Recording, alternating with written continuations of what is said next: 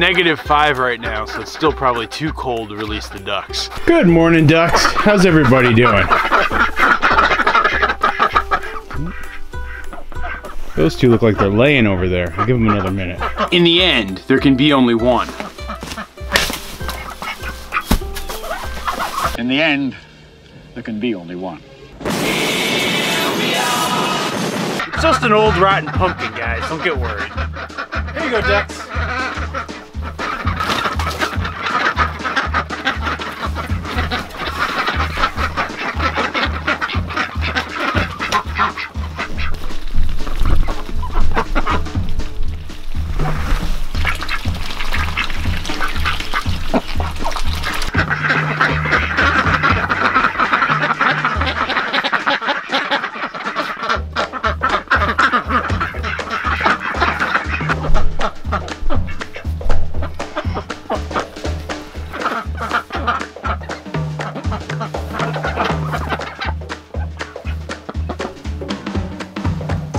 So after yesterday's record-smashing count of 17 eggs, which by the way, I only have 14 layers, I only have uh, seven eggs today. It's okay. You guys did some good work. It's really cold today, and I'm happy just to have these. Nice job, ladies.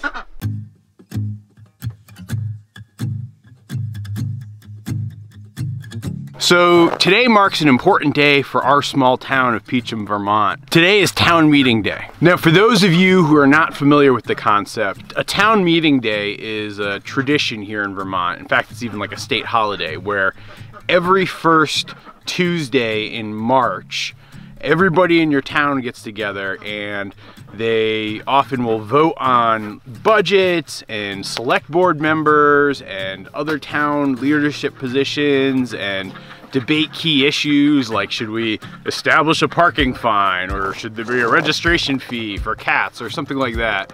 And that happens uh, once a year, every first Tuesday of March. And seeing as how I'm recording this on the first Tuesday of March of 2019, today is town meeting day.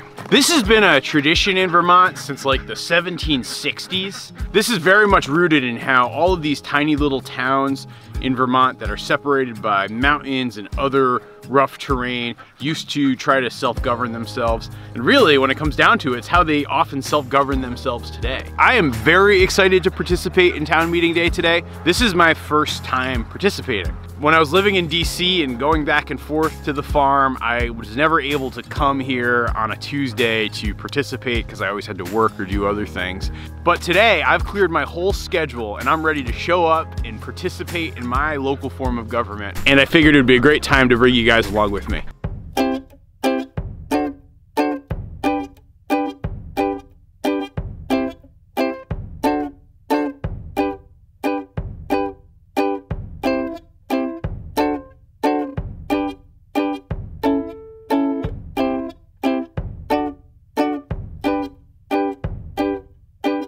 So the way town meeting days work in Vermont is that about 30 days before the meeting, uh, these notices are put out. These notices are called warnings. Those warnings basically have all of the agenda topics for the town meeting. That list includes voting for things like select board members, voting on issues related to approval of budgets, voting on key ordinances and that sort of thing. Now there's somebody who is elected as the position of moderator and that person is responsible for running the meeting.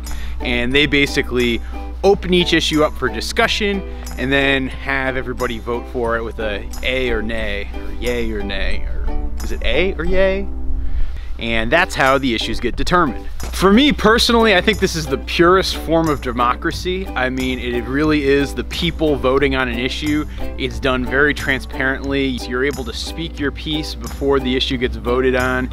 It allows for everybody to come together as a community to make decisions that impact the entire community. As you guys can probably tell, I'm wicked excited about this one and totally geeking out. And I'm not usually the type of person to geek out over civil issues, but yeah.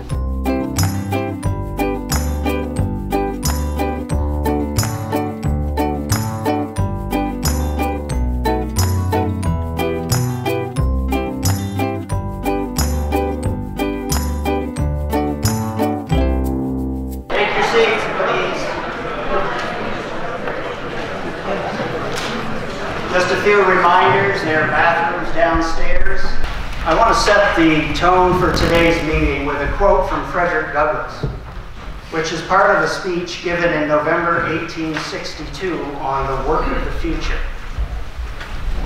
Think about 1862. And thanks to Julie Hanson for digging this out for me. The structure of the American Constitution and government imply the existence among the whole people of a fraternal goodwill, an earnest spirit of cooperation for the common good, a mutual dependence of all upon each, and of each upon all.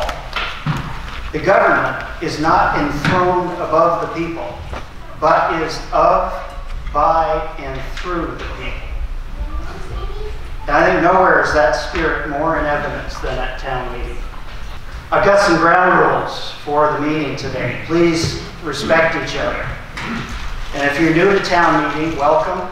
The legal voters of the town of Peacham are hereby warned to meet in the Peacham Congregational Church on March 5th, 2019 at 10 a.m. to transact the following business. Article 1 to elect a moderator. Article 2 to receive the report of the town auditors. Article 3 shall the voters approve total general fund expenditures. Article 4 shall the voters appropriate the sum of 52905 to be raised by taxes and to be held in the road capital equipment fund until used for the sole purpose of the acquisition of a new one. Rick Scholes. I simply want to ask a question. Why was the pickup truck left out of the overall budget? for transparency. I don't quite understand about the sign. It's fine to get a sign, but I would need a post at the bottom of my drive. And I'm too old to put a post in the ground. So will you do that? Help me dig? I wonder if you've given thought to the budget for the- next two years to give us some sense of where we're going. I mean, obviously, there's roads that need to be paved, so we put forty thousand away for a couple years for that, for those projects. And East Peacham Road, I'm sure everybody knows, is really bad. And so, discussion about what may happen with the tennis court, and that is still on the table naturally.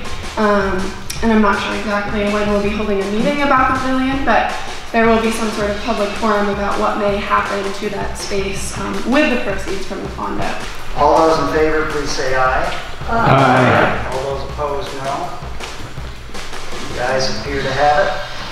I know the town meeting day must feel like a lot of boring repetition and parliamentary procedure, and it's not all that exciting.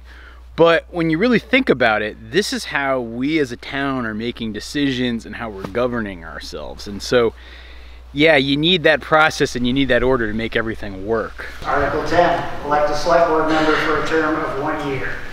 Nominations, Ron. I nominate Peter Craig. Ron Craig nominates Peter Craig, seconded by Diana Centurion. Any other nominations? Jock I nominate Mary Daly. Jock Gill has nominated Mary Daly. Any other nominations? This office all requires a paper ballot. Uh, So we're going to do our ballot process.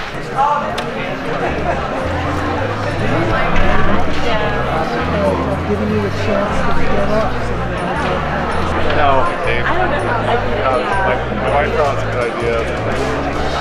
Wow, that's all. Then we've been working on trying, wants to do class.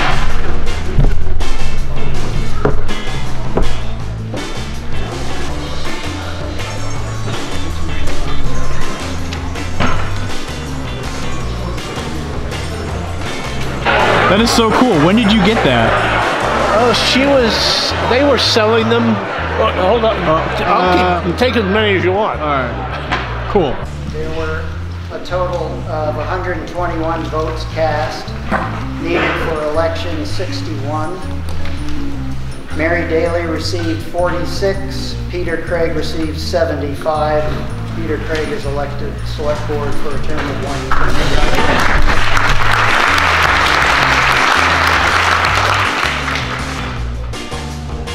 Hi everybody, I'm Rachel Moragues. I run the farmers market and I wanted to speak for a second about what we're doing and let you guys all know that we are going to have a market again. It starts June 13th, every Thursday 4 to 7. Alfredino. I forgot this morning, but I'm remembering now. It's my mother's birthday.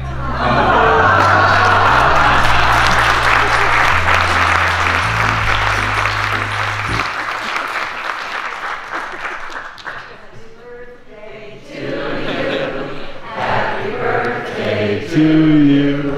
Happy birthday, dear G. Happy birthday to you. It's so good of you to remember now. I also wanted to mention that Morgan um, checked in with me, Morgan Gold, and said his birthday is today as well.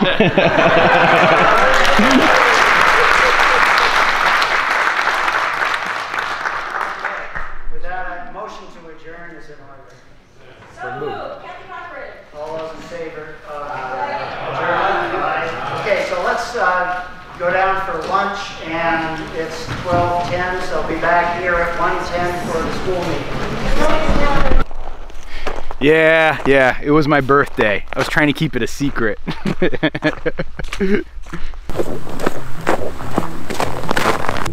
So each year after we do all the town meeting business, everybody in town gets together and we have like a big potluck lunch. Um, you know, I think all the people whose last name begin with A through K, uh, they bring a side dish, and everybody who's L through Z brings a main course. And it means like a nice big spread.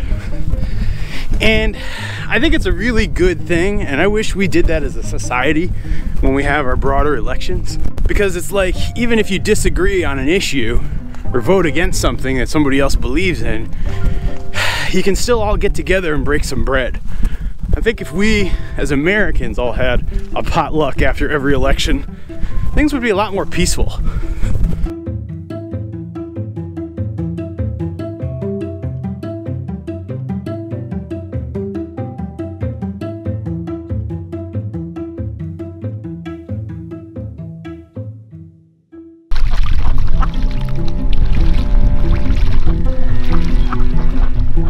So yeah, that's town meeting day in Peacham, Vermont. Well, there wasn't any major issues or great debates or people yelling or anything that you feel like might be the hallmarks of small town politics. I really enjoyed spending a large chunk of my day hanging out in that church, listening to people speak on the issues, watching our town's democracy in action, and you know, spending time with my community. I mean, we are only a town of 700, 750 people, and to have that much community engagement and involvement, it's just awesome. You know, another unique thing about Peacham is that we actually have our own farmer's market and I'm excited because I'm gonna start selling some duck eggs at the farmer's market this year. But to give you guys a glimpse of what we're in store for, let me go back to last year when I tried to make a commercial for our town's farmer's market. I've never had much wor luck working with child actors, so this could be quite the adventure. We should film a vegetable garden Where are we gonna find a vegetable garden here? over there. But there, but it's all covered in snow. Hello, I'm Ari. Hello, my name is Amos. What are we gonna do today? We're gonna make a commercial for the Peacham Farmers Market.